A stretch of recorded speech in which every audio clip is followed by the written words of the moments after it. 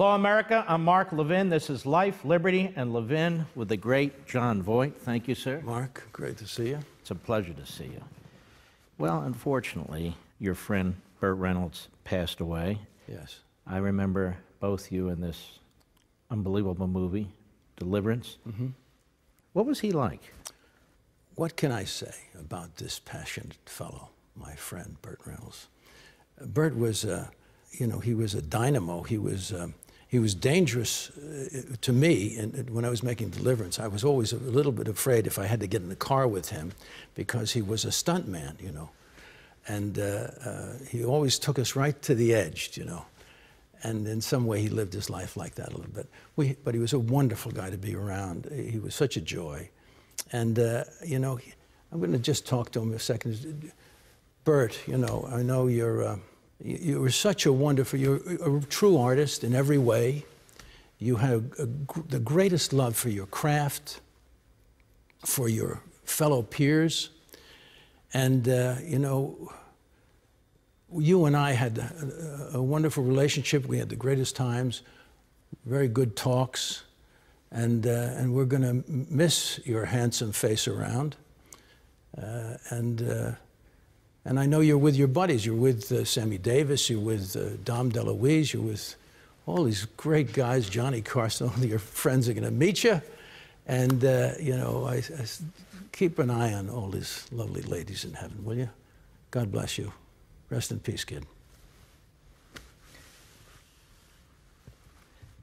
Any story or stories? Oh yeah. Well, I, Burt was uh, he, he, was a, a, scalawag. You know, I, I we were talking about um, this word pantheon. You know, the, the gods of our industry. Well, he was one of those guys, and the person and the figure that you put up there is is the uh, the bandit. You know, he, no one ever created a character like quite like that. We all fell in love with the bandit, and he was a lot like that guy.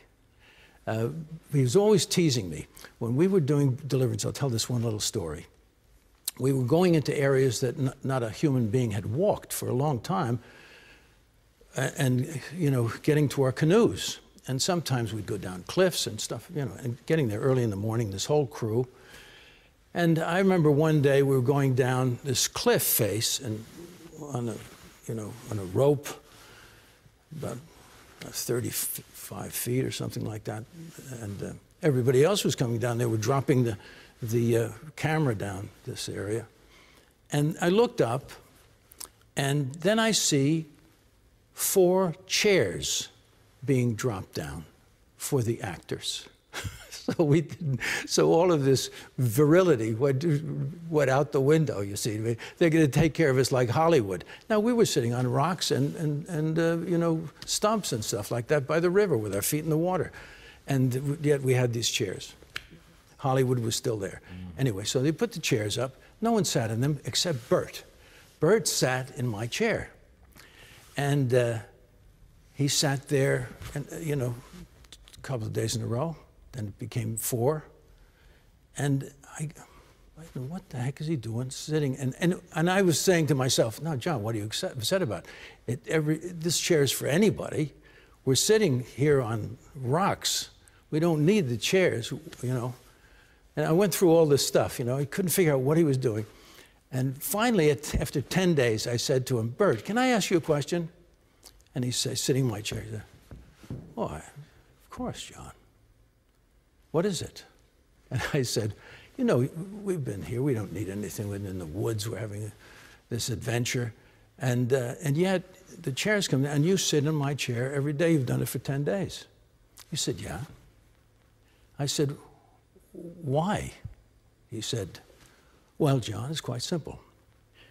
When I sit in your chair, I can see my name on my chair. and he was waiting 10 days for me to say that, to bring it up. He had that joke in his pocket. But anyway, he was like, he was like that. He was such a delight.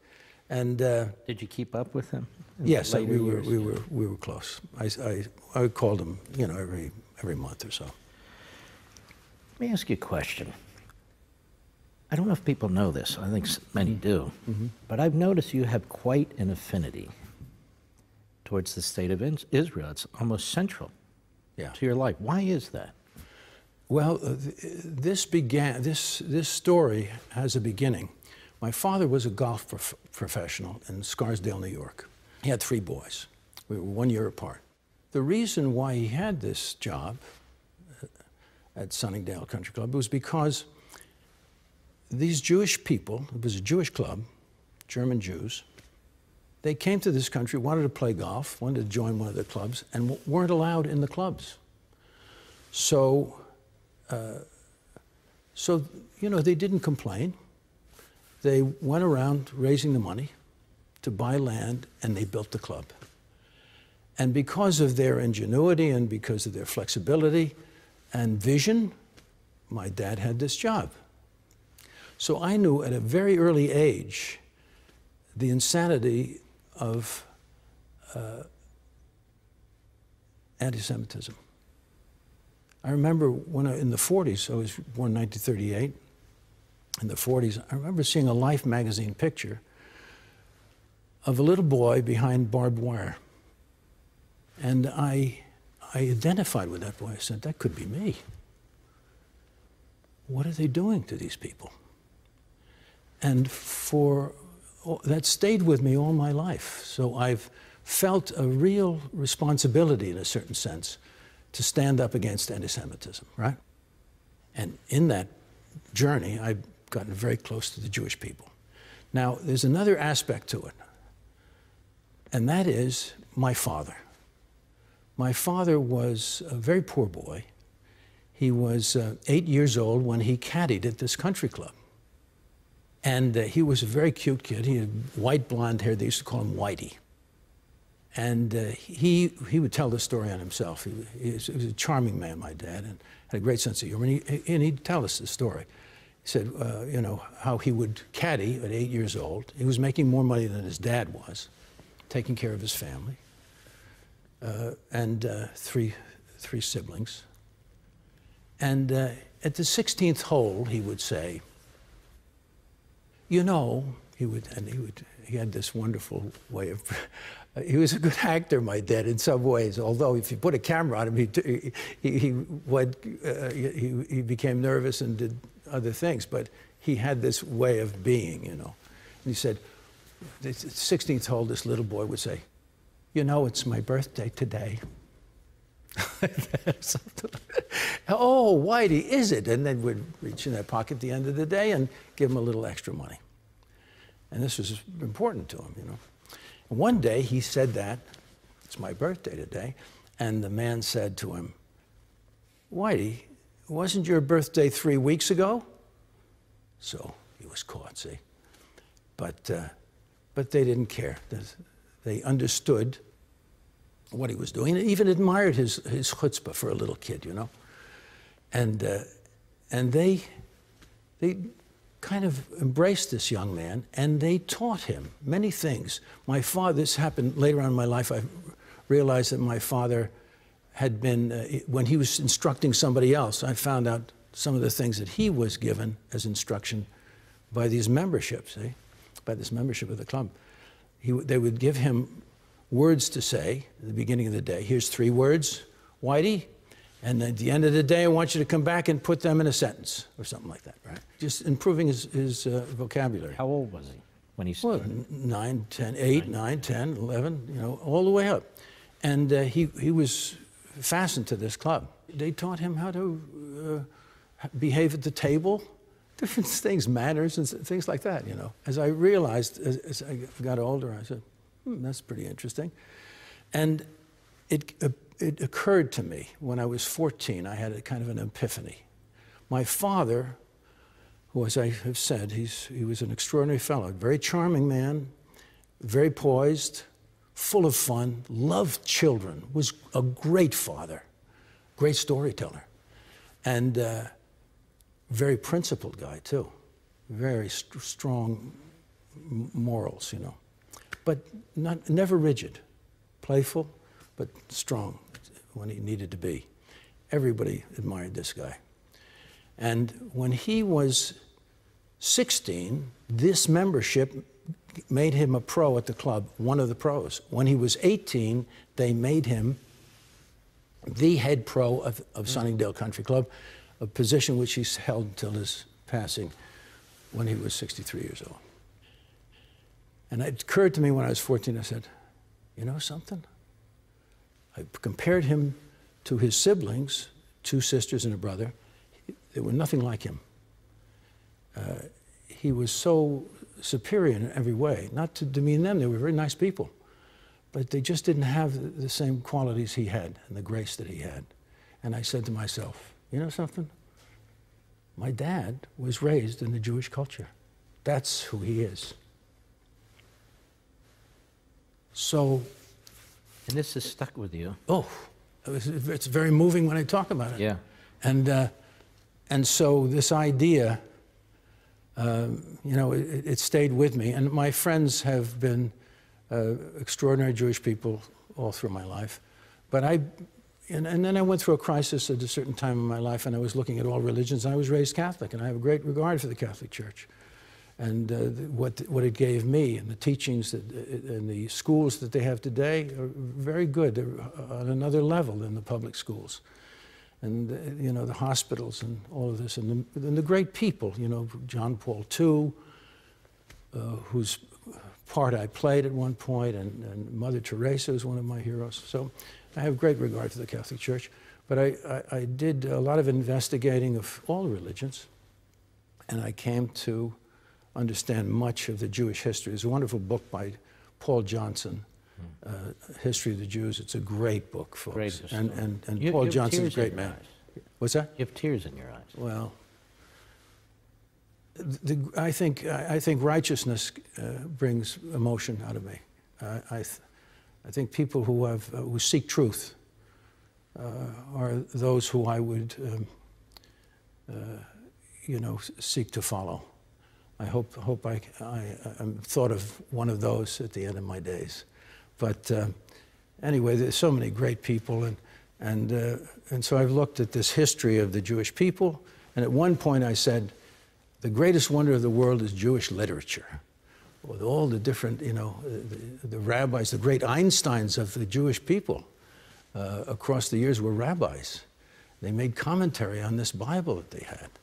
We have uh, just coming up almost at the present time with the Hasidic people, when there was a need for something else in the Jewish world, when people were, uh, the people in Europe, this part of Central Europe, were, um, were bereft of, of the ability to, to read all this literature. Then this fellow came along called the Baal Shem Tov, and he taught them songs. He said, you, you, you simply need to be, you know, happy in your work. Follow this, follow this, behave in a certain way, and here's some songs to remind you of, of, of the truths of things. And, and uh, so right up to the present. And that's why I came to the, the Jewish, the Baal Shem Tov, began a legacy that wound up in my backyard in, in, in California, uh, the Chabad, and, the, and, and I've made friends with these, these fellows, and they're a fun group, really lots of fun, and, and they help people, and I've danced on their telethon, danced the Hasidic dance with the, the Hasidic dance, and it became quite a deal. So anyway, I've, that's, that's my story with the, my affection Well, it's for very the Jewish people. fascinating, and it explains why you go to Israel, why you do what you do. And when we come back, Jon Voight, I want to ask you another question. You used to be a liberal. How did Where- you become did a you- liberal? did oh, you yeah, find I- that out? I found that out. and then you became a conservative. Yes. I want to know how you became one, and then how you became another. Yep. Ladies and gentlemen, don't forget, each week you can watch me on Levin TV most of the week.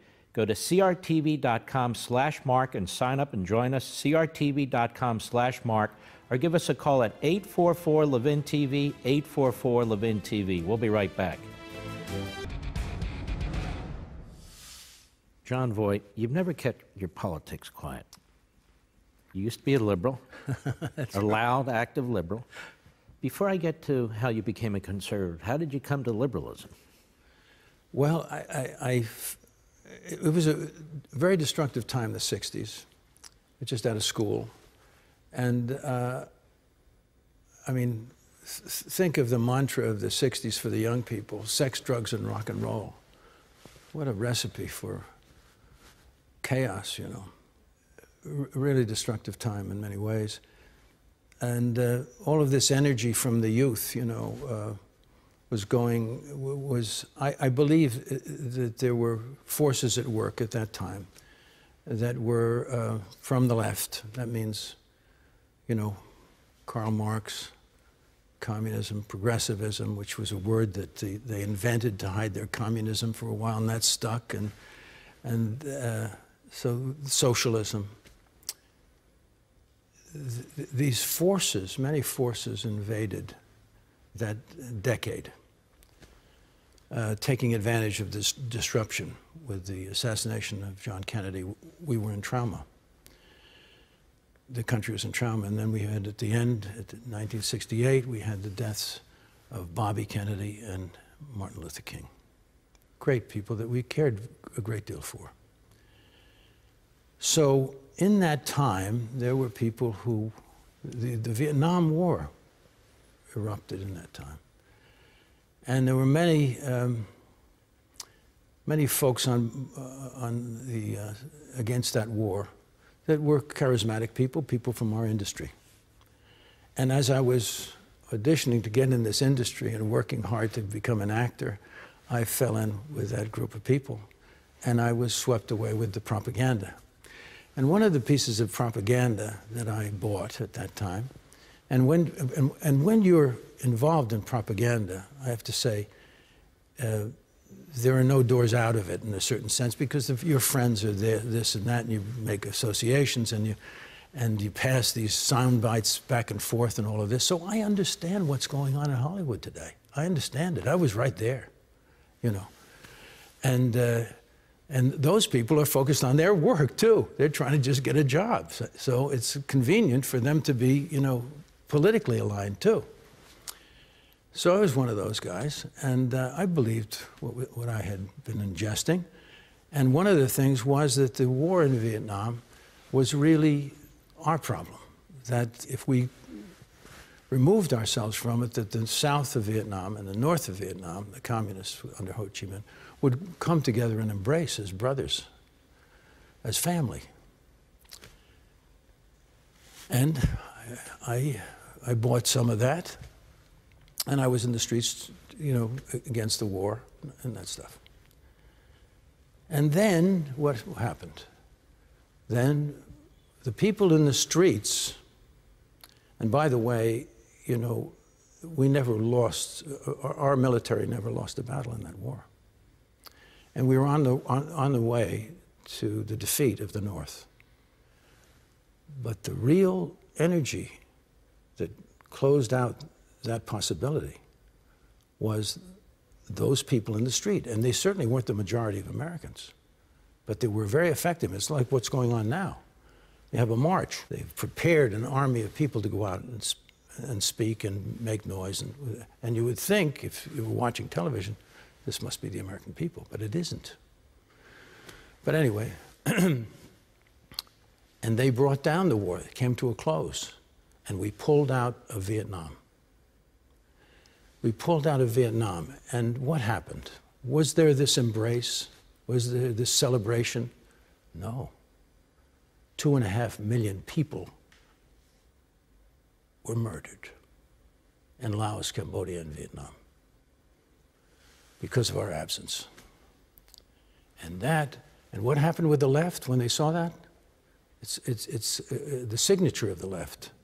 They create this, you know, this chaos and horror, and they walk away. They take no responsibility for it. That's what happened to all my buddies. Mm-hmm. They celebrated. We won, the, we won the war. We won it. We won our war.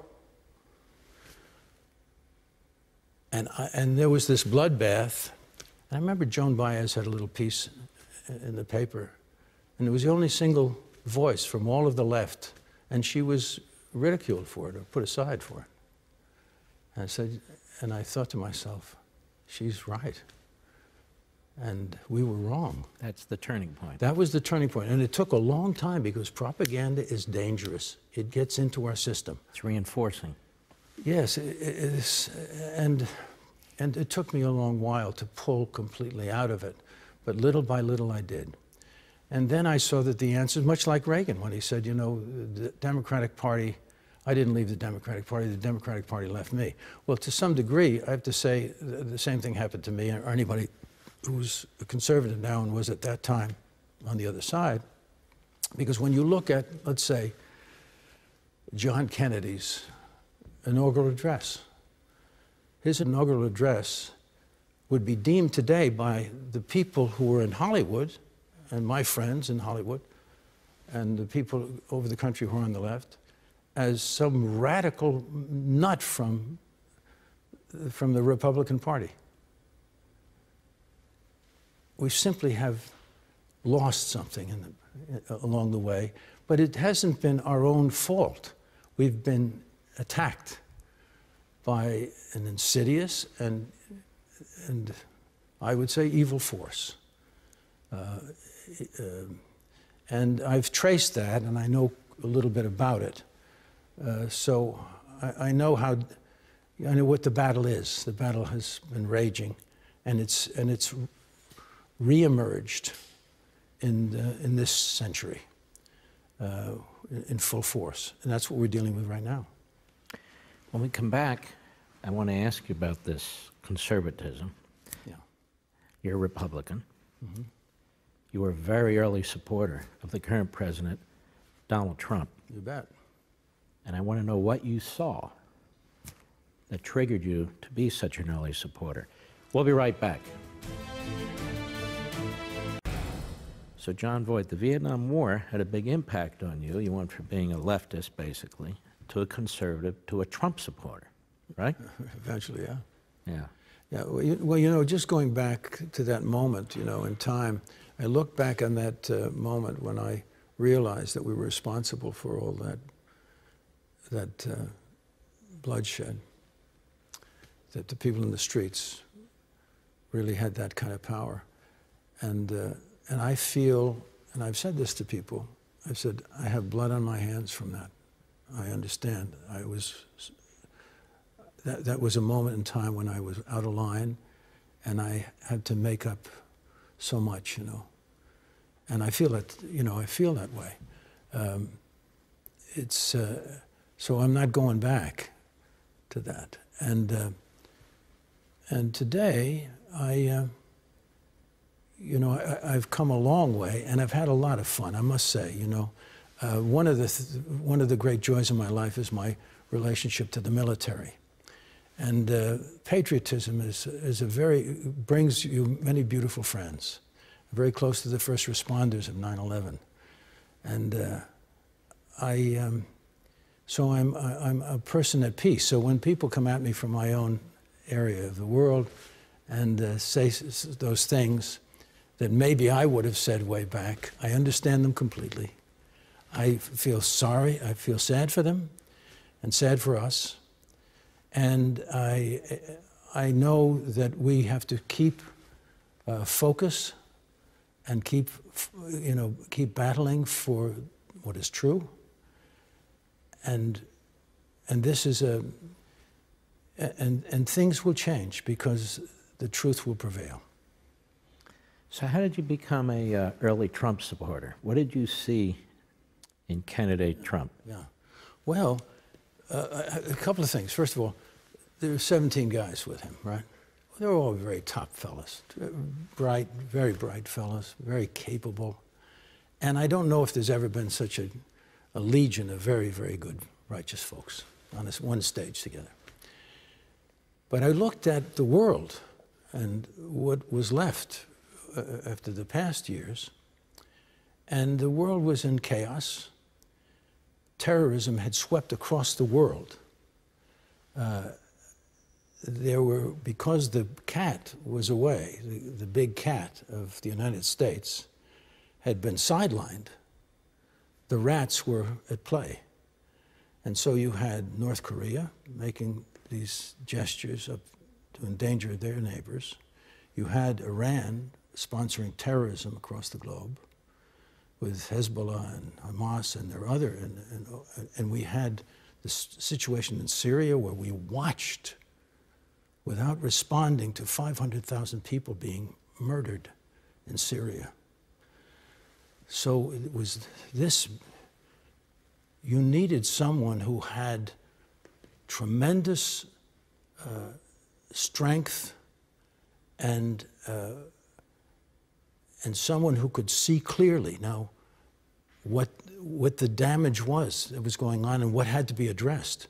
And you needed somebody who was a doer, somebody who solved problems, who got up in the morning to solve problems, right?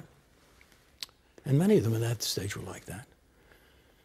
And then on the, the, the home front, we had, a, we had terrible uh, joblessness, a, a, failing economy, uh, a, civil war, really, too.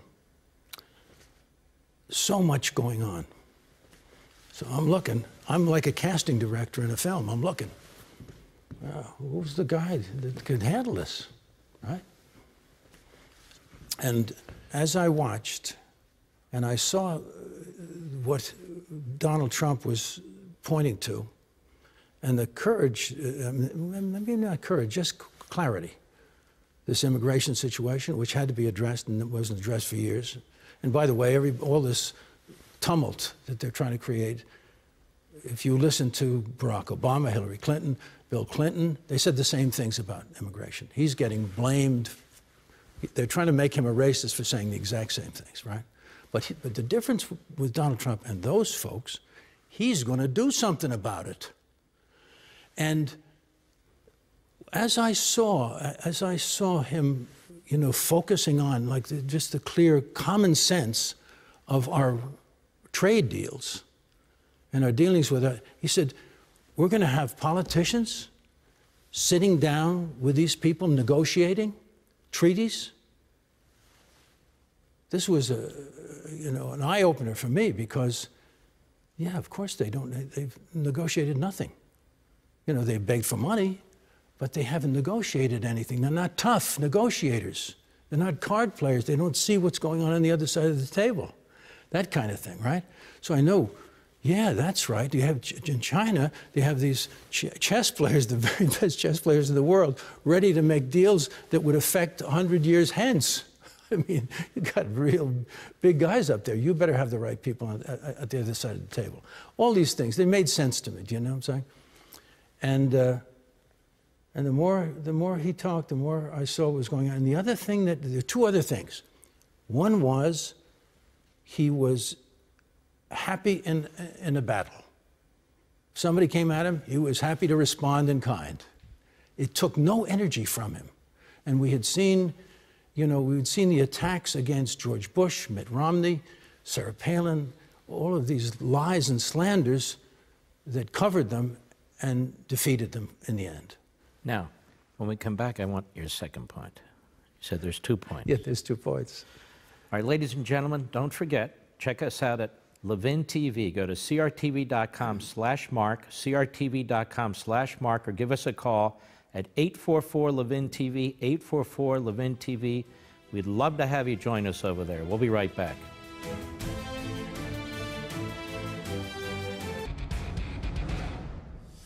So you supported Donald Trump early, Jon Voight. Yep.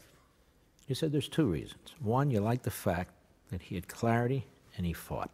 Right fought back. What was the second reason? Well, there's a, there's a, there were several things in there, but uh, the one of the things that that made him separated him from, from all the rest was the fact that he had enough money to to run his campaign, and he didn't have to seek huge amounts of funds for his reelection to keep somebody in his pocket so he could always have that cash to run on.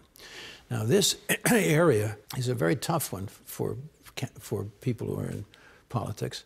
It's, a, it's, it should be looked at, it should be repaired, because uh, it's, a, it's gone way beyond what it should, you know, the amount of money that, these, that even local politicians have to raise is out of line. But you like that he was self-funding. He was self-funding, and, and that meant that he wouldn't have anybody that he had to uh, you know, uh, that was that he had to appeal to in his decisions, which would have to be very strong and tough decisions. Somebody had to be, he had to be, have a lot of courage. Well, he certainly seemed to have a lot of courage.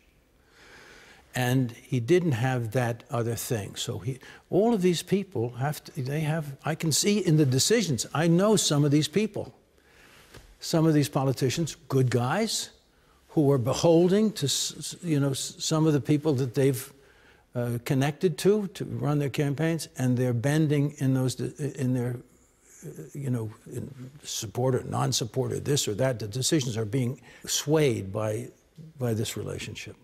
He didn't have it. What, what do you make of the virulence of the attacks against him? Is this the old left that you that you left in the media now? And well, it Hollywood? certainly is the left uh, doing it. Uh, and the virulence is because he's effective. That's, that's what the virulence comes from. He's actually doing what he said he would do. It's an amazing thing in itself, isn't it? But he's actually accomplishing returning to our basic principles of government that were given to us by those guys on the wall there, right? He's accomplishing it, and they're in disarray. He's one by one picking out the stuff that the weeds, and they are the weeds. And so this is their dying breath. They have to, they have to stop him somehow. So you see these very extraordinary things that they come up with. That's what they do. They're conjuring lies and slanders against this man trying to, to destroy this presidency. It's that simple. When you talk to me like this, and it's going to be seen all over the country, mm-hmm. including way back in Hollywood, do people come up to you and say, Jon, what's, what's going on? Jon, uh, you're going to hurt your career. Or is it, we expect this from Jon Voight. It's well known now that he's a well, that's an true. outspoken patriot, conservative. Yeah. yeah. Uh, well, you get a little of everything, of course. You also get guys that come up to you and say, hey, Johnny, great, keep going, will you? Other actors? Yes, other actors, you know, people in the business. Yeah. I, I get a lot of support from people I, I appreciate, who's, who I respect. So it's, it's not all one way. And also, yeah. you know, I like my peers. I like them we're in the same industry. I understand them. But do they like you? Well, it's not so important to me. You see what I mean? That's not important to me. Yes. I mean, it may, it may, be important to me if I require, you know, um, work. uh, but there's enough people around who are of a conservative nature. Uh, but, uh, but Hollywood has been inf- infiltrated. Why? Because they're important. That's why the left is focused on Hollywood. That's why they're focused on our universities.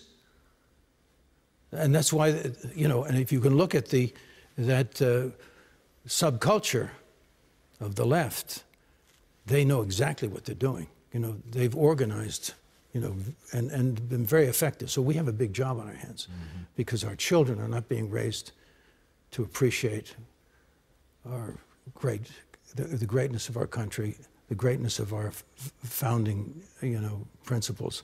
And thank God for Mark Levin. He is the, the watchman over this treasure. And the, a person who can, can, explain the beauty of it and knows exactly what has, the, where the attacks have chipped away at it, too. Because we have to get all that back. You're very kind. We'll be right back.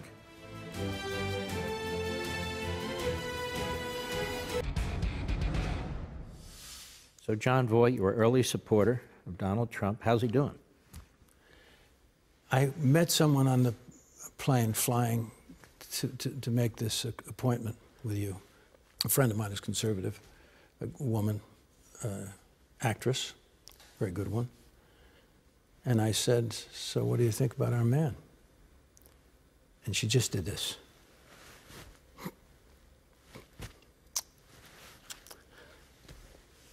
That was a, that's that's me crying. it was her, too. Why are you crying? Saying, because it's so, first, first of all, the gesture was so beautiful. She couldn't even speak. She was just saying, thank God. And I say, thank God. And one of the reasons why I can say thank God is because I, I, I know He's there you know, for us all. God. And that's one of the things that we've lost is this compass of God.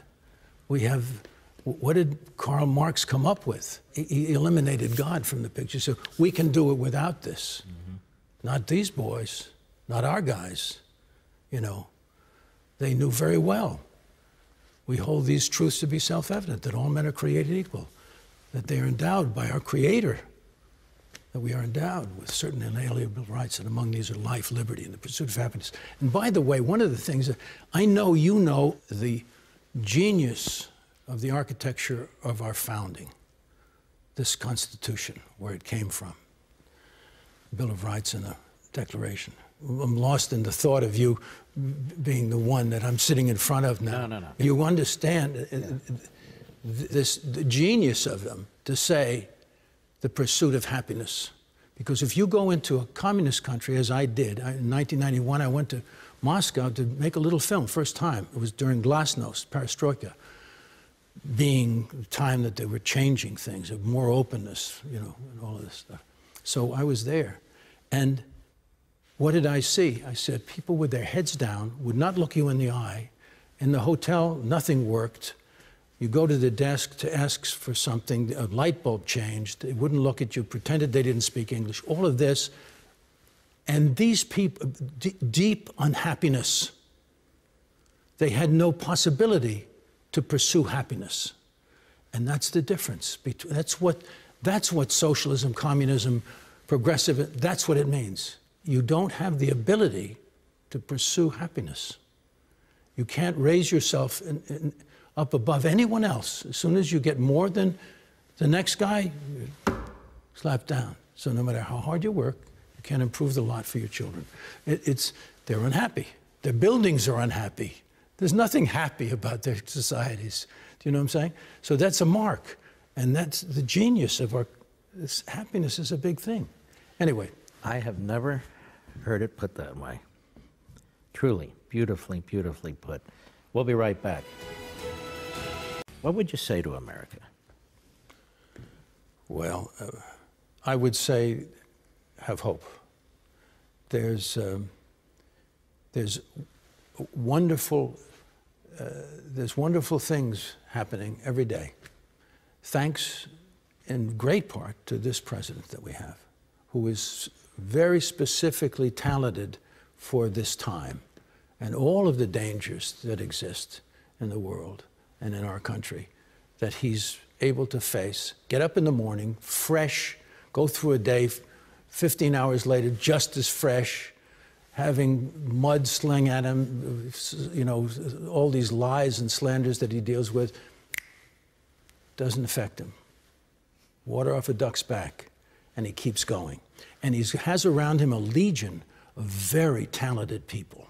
If you look at at the Republican Party and then the, and the conservative world, and you look at the Democrat Party, there's there, there's no comparison. The Democrats have they're bereft of talent. They have they don't have talented leadership. There are no statesmen, no statesmen in the Democratic world. But in the Republican world, in the conservative world, there are many brothers that you have, like yourself, who are of stature who are primed with specific gifts to answer today's challenge, who are giving us information every day. And I can, and I, I, I can give you 50 people, I'll bet, that I have met personally you know, and I, I, can go through a long list, and you can give me another 50, and the people on your show. All of these people are of a very high stature, so we have hope. Let me just say this it's been a great pleasure. I've known you over the years to have this discussion with you. I want to thank you for coming in, Jon Voight. Great to be with you. God bless you. See you next time on Life, Liberty, and Levin.